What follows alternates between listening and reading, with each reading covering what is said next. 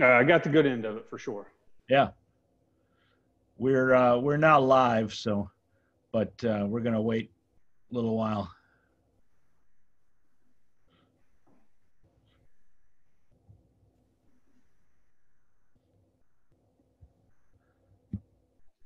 Good evening, everybody who's online. We're just gonna wait a little while to get started.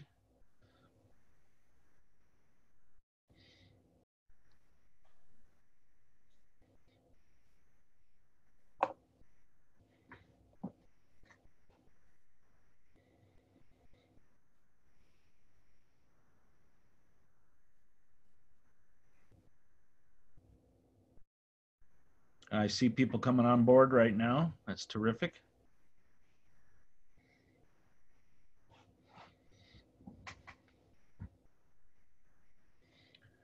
Hope everyone's having a nice evening.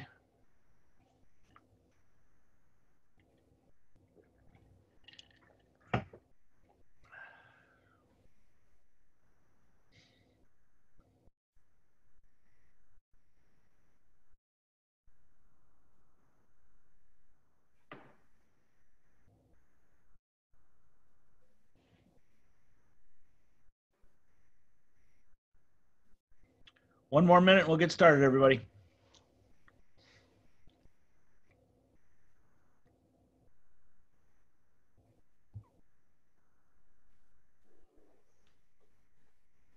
Oh, I see. I need to change my name back. Patrick Berry is our. Uh... Hi, Becca. How are you?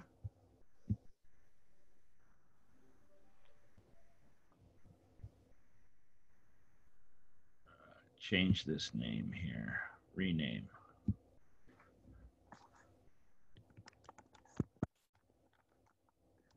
This is our CEO's account, so his name always comes up on the host. So, well, why don't we get started? Um, I want to welcome everybody tonight. Um,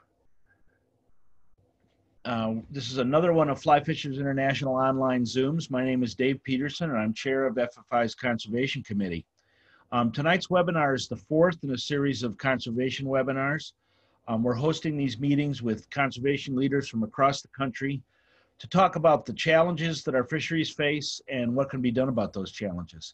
Um, this webinar is presented and made possible only with the support of our over 12,000 FFI members, and we appreciate their support.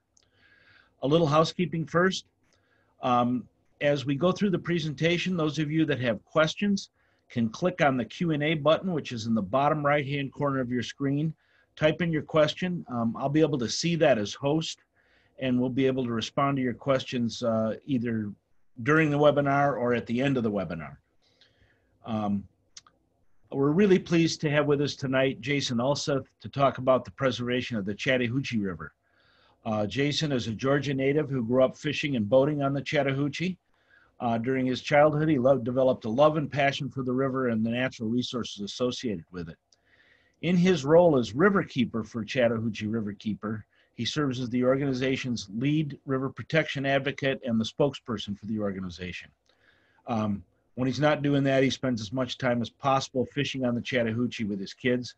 And after he talks to you about the Chattahoochee, I think you'll appreciate this this fishery. It's pretty incredible story and a, a pretty incredible organization. So welcome, Jason, and thanks for joining us. Thanks, Dave. Thanks for having me. Let's jump into tonight's topic. Um, Jason, tell us about Chattahoochee Riverkeeper, um, what the Riverkeeper's mission is, and the kind of programs that you offer. Sure. So just a little bit of background. So Chattahoochee Riverkeeper, we are a nonprofit environmental advocacy organization that's dedicated to the protection and stewardship of the Chattahoochee River. The Chattahoochee River starts north of Helen in Georgia and flows down to the Alabama border and down into Florida uh, for 435 miles. So we have three offices, uh, full-time staff of about 16 people, uh, about that many part-time people, and then thousands of volunteers that help us get our work done to protect this river. And there are bay keepers, coast keepers, uh, lake keepers uh, all over the world and we are all independent nonprofit organizations uh, that uh, get a license from a what we call our mother organization, which is Waterkeeper Alliance, based out of New York, that allows us to be called a keeper organization. And again, we're we're independent, but we all work to protect our own individual water. So you'll find river keepers all over the country. And we are based out of Atlanta and we protect this river that provides the water supply to 5 million people. Interesting. How long has uh, River Keepers been around, Jason? Your River Keeper, excuse me. Yeah, we're one of the older ones. Uh, so we were founded in 1994. So we're 26 years in and have a long history here in Atlanta um, fighting sewage pollution, stormwater runoff pollution, sedimentation pollution, and really uh, also doing a lot of education and outreach um, to educate the public on you know what they're doing in their daily lives and how that affects our river. Uh, can you tell us about the Chattahoochee tailwater fishery and kind of what makes it unique? Um, I, I, for one, until I met you guys uh, through Becca, really wasn't aware of this incredible river. Yeah, let me uh, share my screen. I just got a couple of slides and maps here to, to show.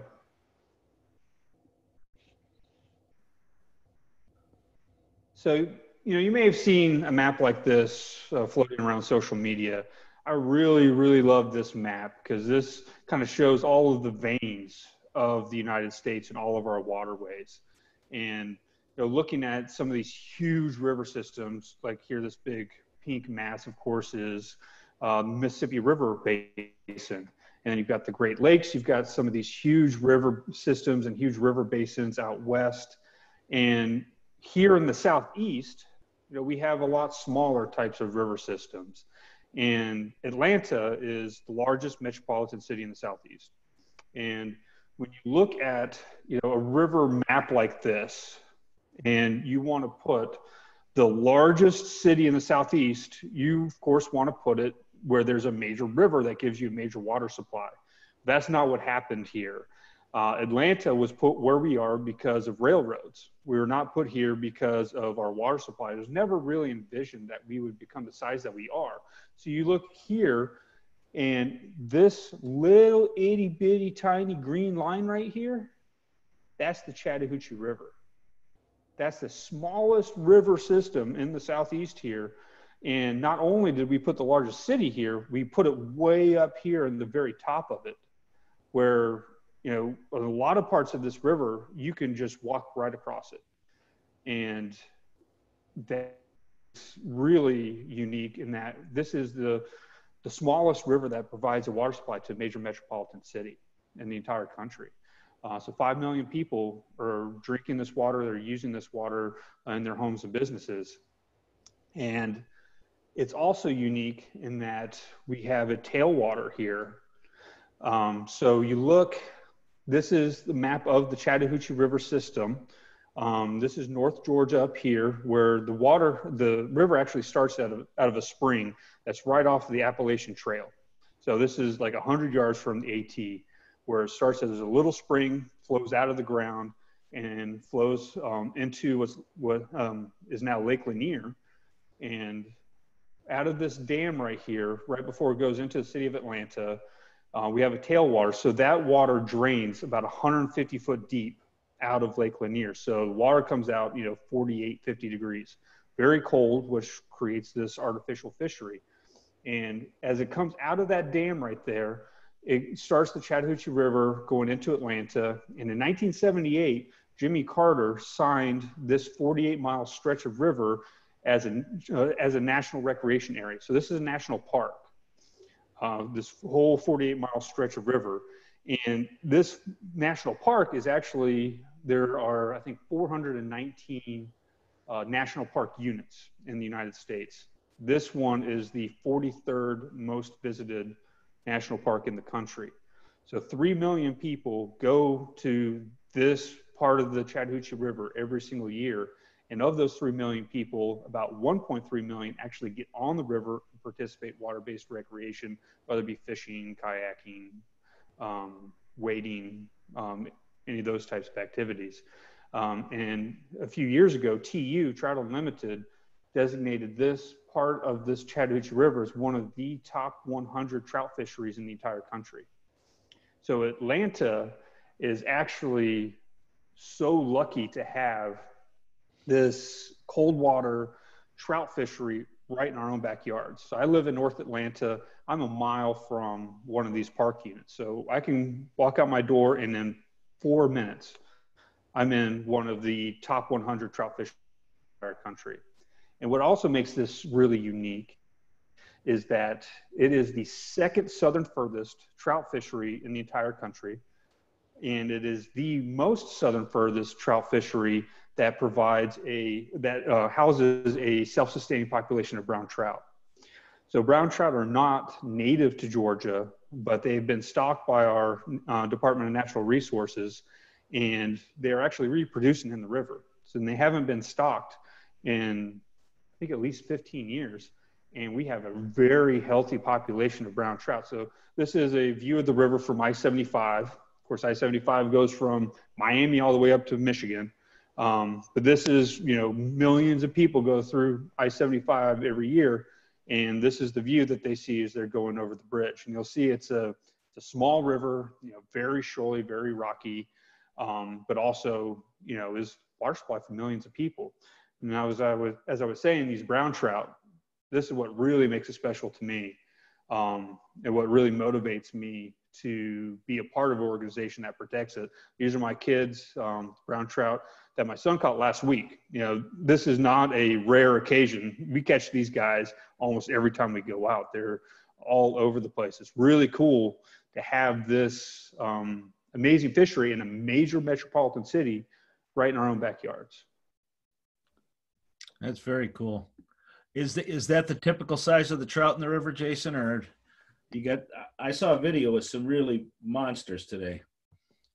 Yeah. Um, so typical, yes. You know, you'll catch them anywhere because they are born in the river. Yeah, you can catch a four incher. Um, the biggest one I caught last week went about 20 inches, and the record uh, went. It was 33 inches with a girth of 22. Wow. So there's some big, big really? browns in there. Yeah, yeah. The state record came out of this tailwater. Um, I think that that one went 17 pounds. Wow. So of course that's not an everyday occurrence, but yeah. you know, 12 to 15 inches, you catch those pretty regular. Interesting. Interesting. Uh, tell us about your personal history with the fishery. Yeah, so I grew up here in Metro Atlanta. Um, as a kid, my dad and I actually learned to fish together because uh, he didn't grow up fishing, but you know that was something we wanted to do together.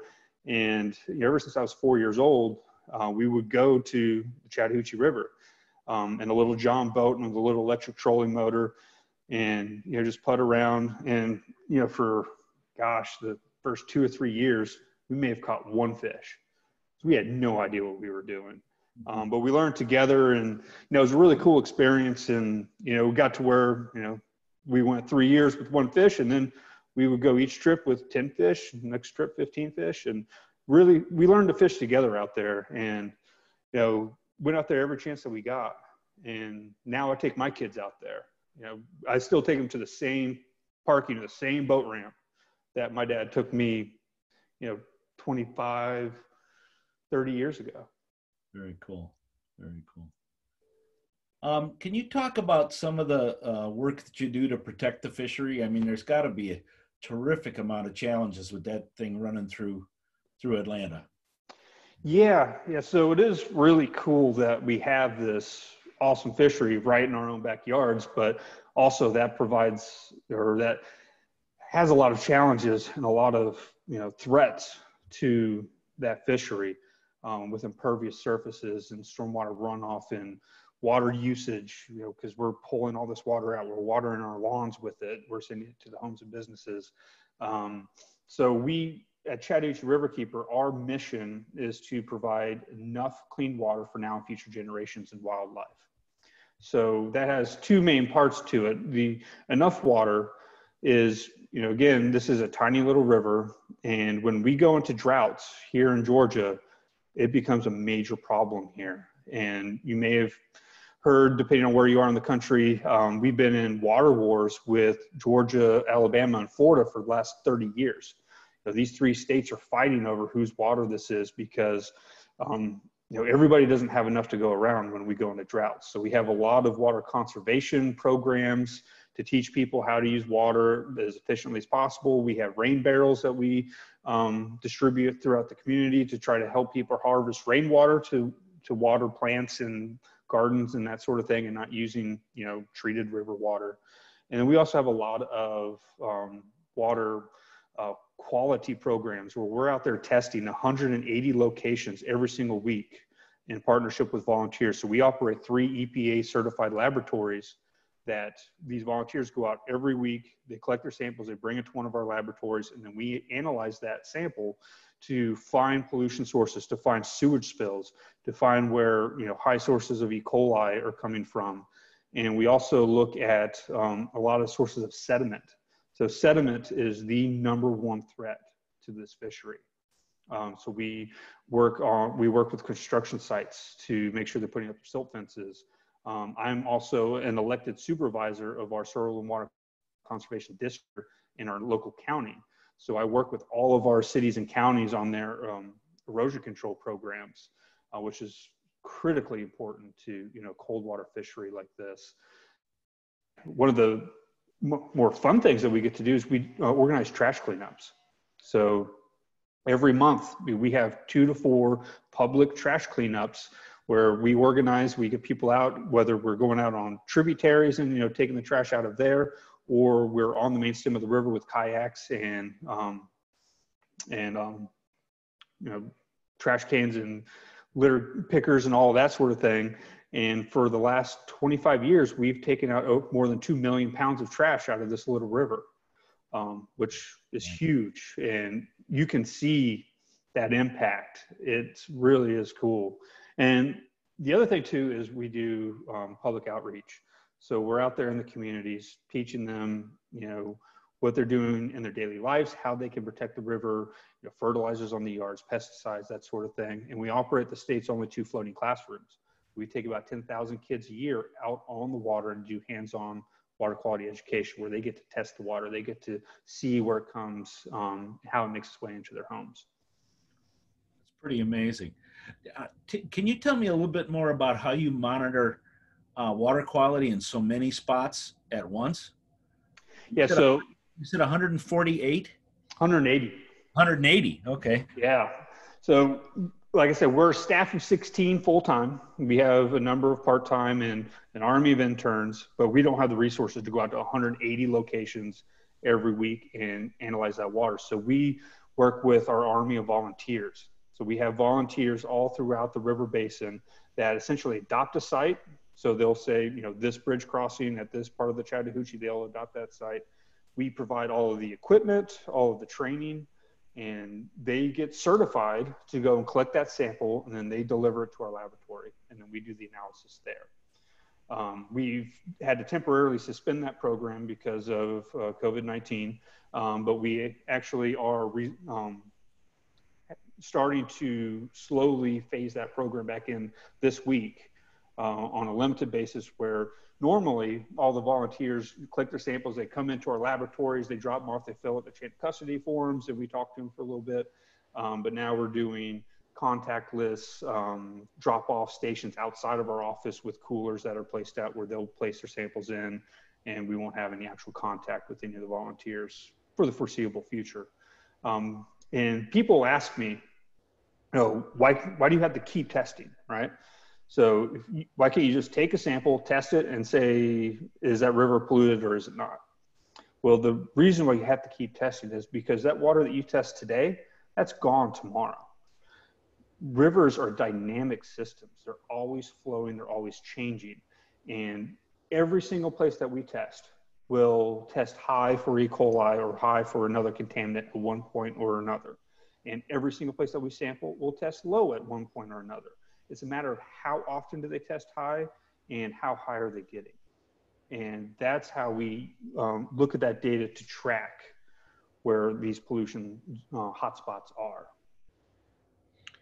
Um, I'm just interested in, in what the relationship between, a little more about the relationship between the river and Lake Lanier. Is the flow out of Lake Lanier pretty constant because it's it's coming out of the bottom of the dam? Yeah, so there's always a minimum flow. And this dam is operated by the Army Corps of Engineers, and it's one of four major uh, reservoirs that the Army Corps operates up and down this river system. So when we have high periods of rain and Lake Lanier gets above full pool, they will dr- basically drown us downstream. We okay. can go five, six months without any fishable water because they're really trying to drain that lake down. And that's where we were earlier this year, where the lake went, you know, six, seven foot above full pool. And then other times, if we get into, you know, dry periods or, you know, even a drought, where that lake in 2007, it got 20 feet below full pool. So the Army Corps is trying to hold back as much of that water. So they're only letting the bare minimum out. And in the summertime, you know, the temperatures were, sp- were spiking so high that that was also unfishable because the fish were just so stressed. Yeah. Do you, uh, in those times, does Riverkeeper uh, do anything to educate the public and about not fishing for stressed fish? We Don't uh, directly. Uh, we focus on working with the Army Corps and trying to get them to burp some water out and and chill the chill the river. Um, and they'll do it actually if you complain enough. yeah, if, if you keep nagging them and you know just a little burp of you know a half hour of a larger release that can chill the whole river for you know almost a day. Okay. So how how do you build that relationship with at least in our area the Corps has a reputation for uh, being uh, a complicated bureaucracy that's hard to move. They absolutely are. Yeah, and their manual that, that operates that dam is 4,000 pages. I mean, it is literally a huge mountain of paperwork. I haven't read it, but we have staff that have. and you know, but we we developed those personal relationships. Um, we've been around since 1994. Um, the our, the lake manager there at the Corps, he's been there for a very long time too. And I go out to lunch with him a couple times a year. You know, I go up there, we go out to lunch, we catch up on all the different things, and I've got his cell number, he's got mine. It's a matter of building those personal relationships. And even though that manual is 4,000 pages, you nag him enough, he'll lift that lever up a little bit. And okay, interesting. Yeah. How how do you build your corps of volunteers? I'm interested in that, um, and that's tied to a question if if we've got members in your area, how could they support your work? Yeah. Um, so some, if you're in Atlanta or Metro Atlanta in Georgia, um, you know, affiliated with the Chattahoochee Basin, we are always looking for more volunteers, whether it be to collect samples every single week and deliver them to one of our laboratories, or just come out to one of our events one time a year and pick up some trash out of the river. So we have opportunities for you know all those different levels of you know time commitment that you may have. Um, but also wherever you are in the country, chances are you have a river keeper that's near you. So you can go to Waterkeeper Alliance, I think it's waterkeeper.org, or just Google Waterkeeper Alliance. And they have a full map of all of the different river keepers all across the country. And, you know, some of them are not as big as we are, some of them are bigger, some of them have different opportunities. But chances are there's a river keeper near you that you can get involved with in you know one way or another. Um, and you know we love all of our volunteers. However much time you can you can dedicate, it, it makes a difference. Yeah, I guess. I guess. Um, any we're nearing the end of our time, Jason. Um, any other parting thoughts you want to share with us?